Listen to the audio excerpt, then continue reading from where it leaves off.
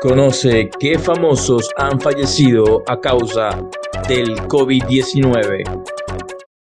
Desde la aparición del coronavirus a finales del 2019 hasta su propagación y posterior pandemia, la vida tal cual como la conocíamos nos cambió de una manera significativa, tanto económicamente como familiarmente, al punto que todavía pasado el primer trimestre del 2020, aún estamos sufriendo los estragos de tan terrible enfermedad. El mundo del espectáculo, el deporte, la política y hasta la ciencia no escapa de esta penosa realidad, pues ya son varias personalidades que han sido víctimas del COVID-19 en todo el mundo. Número 1. Terrence McNally escritor estadounidense cuya variada y prolífica carrera como dramaturgo, libretista musical y guionista le trajo cinco premios Tony y un Emmy. McNally fue guionista de películas como Frankie and Johnny en 1991, una comedia romántica con Al Pacino y Michelle Pfeiffer. Murió a los 81 años. Número 2. Lorenzo Sanz. Les permitió ganar la Copa de Europa que el equipo no había obtenido desde 1966. Número 3. DJ Black and Mild. Olivier Stock Jr., más conocido como DJ Black and Mild, era un mezclador de música que se hizo famoso por llevar a la radio la música bounce, un estilo de ritmo enérgico del hip hop de Nueva Orleans, que se originó a finales de 1980. Trabajó con artistas como Drake, Lil Wayne y Big Freddy. La última publicación en sus redes sociales decía, es neumonía, no gripe. Murió a los 44 años. Número 4. Li Wenlian Curiosamente, este médico chino se hizo famoso después de su muerte. Fue la primera persona en advertir al mundo sobre la epidemia de coronavirus en Wuhan. El 30 de diciembre de 2019, Li escribió en un grupo privado, siete casos confirmados de SARS fueron reportados desde el mercado Wanan. El hospital lo culpó por filtrar información y la policía lo interrogó dándole un aviso de advertencia y censurando sus comentarios falsos, entre comillas.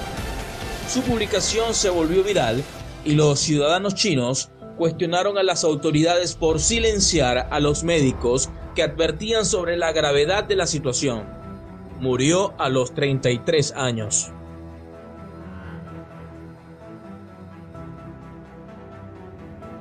Número 5.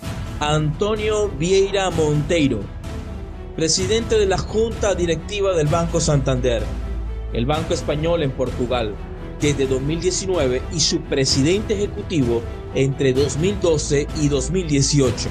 Monteiro se infectó en el norte de Italia donde estaba de vacaciones con su familia y fue la segunda víctima mortal del COVID-19 en Portugal. Murió cuando estaba a punto de cumplir 74 años. Número 6. Donato Savia, atleta italiano ganador del oro europeo en los 800 metros en pista cubierta en Gothenburg, 1984.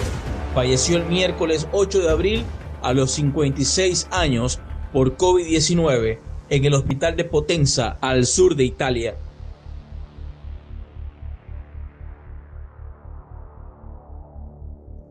Número 7.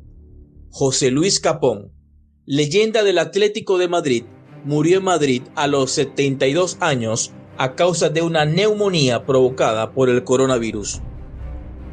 Número 8. Adam Schleisinger, cantante y compositor, ha fallecido a los 52 años víctima del coronavirus. Fue líder de Fountains of Gwen, Ivy y The Wonders. Número 9. María Teresa de Borbón Parma, prima del rey Felipe VI y conocida como la Princesa Roja. Falleció a los 86 años. Número 10. Norman Hunter, exfutbolista campeón del mundo con Inglaterra en 1966.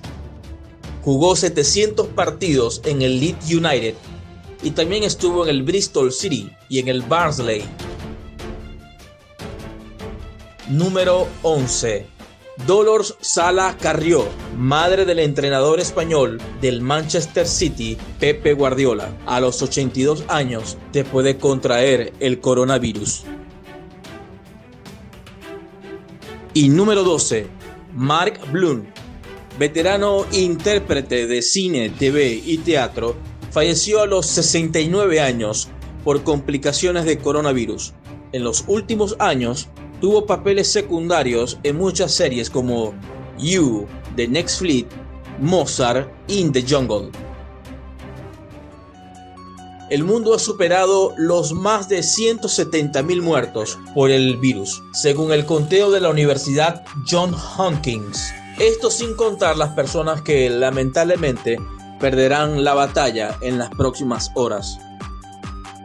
Solo nos queda esperar a que más temprano que tarde la humanidad encuentre una vacuna para que este mal no sea causa de nuestra destrucción. ¿O acaso nos merecemos lo que está pasando? ¿Podrá ser la COVID-19 la respuesta de la naturaleza por tanto daño cometido contra la vida?